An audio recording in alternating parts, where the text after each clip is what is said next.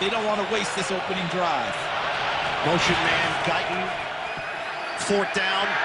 Hooks a pass. A fastball. Caught. Keenan Allen